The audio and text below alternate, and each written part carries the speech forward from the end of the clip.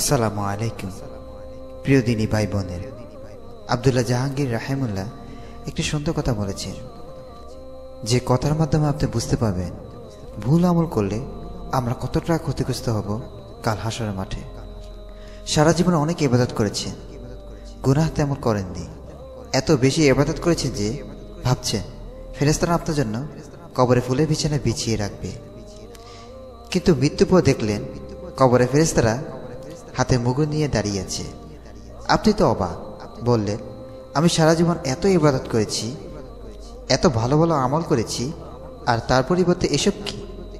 ফেরেস্তারা বলবে, সারা জীবন যা করেছেন, সব শিরক আর বেদাত। আপনি তখন বলবেন, আমি তো সব বড় বড় হুজুরদের কথা মতোই মান্য করেছি, তাদের কথা মতো চলেছি, তাহলে ভুল কেন হবে? ফেরেস্তারা বলবে, তুমি বড় হুজুরের কথা যাচাই বাছাই না করে সবকিছু মেনে নিয়েছো। সে সত্য বলেছে নাকি মিথ্যা বলেছে? তা তুমি যাচাই বাছাই করনি। আপনি তখন বলবেন, তাহলে আমাকে আর একবার সুযোগ দেওয়া হোক। যখন আমি পৃথিবীতে যাব, তখন আমি সব যাচাই বাছাই করে ভালো এবাদত করে আসব। তখন ফেরেস্তারা কি আপনাকে ছেড়ে দেবে? আপনি কি এই কথাটা কি কল্পনা করতে পারছেন? আপনাকে আবার সৃষ্টি করা হবে। আপনি আবার ভালো আমল করবেন। না ভাই, জীবন একটাই। সুযোগ একবারই। একটু যাচাবাচি করে আমাদেরকে আবাদত করতে হবে। অর্থসহ করুণ হাদিস পড়ুন। করুণ হাদিস পড়লে আপনি আলেম বা মুফতির মতো হতে পারবেন না।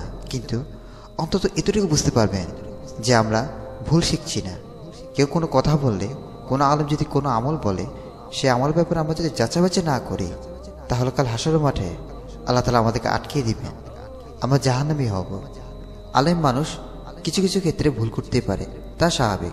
আমাদেরকে যাচাবাচি করতে হবে এবং তাদেরকে ভুল ধরিয়ে দিতে হবে আর নিজের ভুলকে সবসময় সংশোধন করতে হবে। আলেমদের ভুল হবে, এটা স্বাভাবিক। এটা আমাদেরকে মেনে নিতে হবে। প্রত্যেক মানুষই কোনো না কোনো ক্ষেত্রে ভুল করে থাকে। আমাদের উচিত যাচাবাচি করে আমল করা।